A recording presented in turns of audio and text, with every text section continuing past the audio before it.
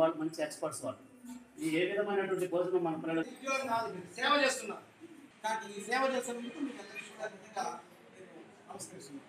కాబట్టి ఈ సేవా కార్యక్రమంలో మనం చేస్తున్నటువంటి చిన్న కొన్ని లోటుపాట్లు ఉన్నాయి. ఆ లోటుపాట్లు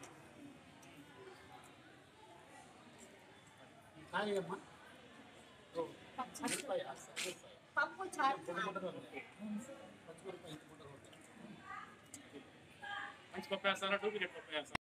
ఇందులో మన గౌరవ ప్రిన్సిపల్ సెక్రటరీ గారు ఆ, ఆదేశాల ప్రకారము తిరుపతిలో ఉన్నటువంటి తాజ్ హోటల్ తాజ్ హోటల్లో ఉన్నటువంటి చీఫ్ చెఫ్ నుంచి మెళకువలు రిసోర్స్ పర్సన్స్కి అందించడం జరిగింది. ఆ మెళకువల్ని మధ్యాహ్న భోజనం చేసేటువంటి అందరికీ ఆ మెళకువలు నేర్పించి ఆ విధంగా రానున్న విద్యా సంవత్సరంలో మరింత రుచికరమైనటువంటి మంచి పోషక విలువలు కలిగిన ఆహారాన్ని విద్యార్థులకు అందించే గురుతర బాధ్యతని ఆ పాఠశాల ప్రధానోపాధ్యాయులతో పాటు ఆ భో వంట చేసే కార్మికులకు కూడా అందించడం జరుగుతోంది. మరి ఈ శిక్షణా కార్యక్రమంలో చిత్తూరు మండలానికి సంబంధించి ఎంఈఓలు ఇద్దరు అలాగే గుడిపాల మండలానికి సంబంధించిన ఎంఈఓలు అదేవిధంగా మా చిత్తూరు పీసీఆర్ ఉన్నత పాఠశాల ప్రధానోపాధ్యాయుని మరియు అన్ని పాఠశాలలకు సంబంధించినటువంటి వంట కార్మికులు మా యొక్క ప్రధానోపాధ్యాయులు మరియు మా సిఆర్పీలు అందరూ కూడా పాల్గొనడం జరుగుతోంది. ఈ ముఖ్యంగా ఇందులో ఈరోజు కాంపిటీషన్స్ కూడా నిర్వహించడం జరుగుతుంది.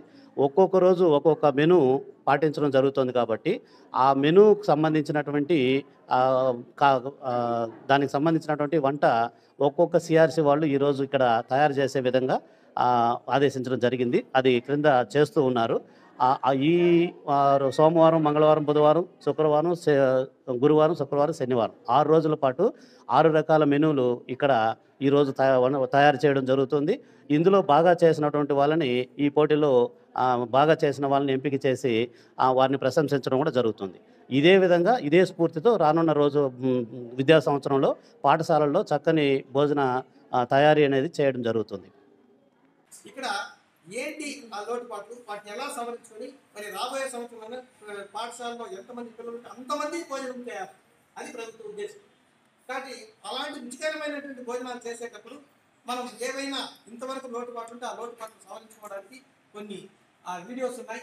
తర్వాత మీలో ఒక ఐదు మంది విజయవాడ ట్రైనింగ్ పోయి వచ్చారు. అక్కడ వాళ్ళు ఏం చెప్పారు అనేటువంటి విషయాలతో వాళ్ళకి తెలియజేస్తారు. దాన్ని వినండి వీడియో చూడండి. తర్వాత ఈరోజు ఇరవై ఐదు మందిని ఒక యూనిట్గా చేసుకొని మీకు ఒక మెనూ ఇస్తారు ఈరోజు సోమవారం భోజనం ఈ టీం వాళ్ళు చేయండి. మంగళవారం భోజనం ఈ టీం చేయండి.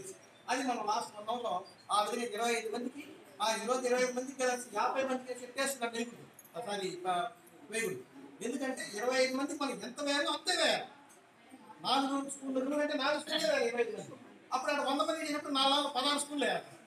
కాబట్టి ఆ విధంగా మనము ఆ మంది బాగా రుచిగా ఉండాలని చెప్పి నూరు మందికి వేసేటువంటి టేస్ట్ ఈ రోజు ఇరవై ఐదు మంది చేసినప్పుడు కాబట్టి ఆ విషయాలన్నీ కూడా మనం చెప్తారు దాన్ని విని దాన్ని పాటించి ఆ విధంగా మీరు ఈరోజు ఆ డెమో కూడా ఇక్కడ ప్రదర్శన చేసి మీ వంట ఎలా ఉందో అందరూ కూడా రుచి చూసిన తర్వాత రాబోయేటువంటి పన్నెండో తారీఖు నుంచి అందరూ కూడా అన్ని రకాల పాఠశాలలో ఒకే రకమైనటువంటి రుచికరమైన భోజనం చేయాలనేటువంటి ఈరోజు కార్యక్రమం ఉద్దేశం.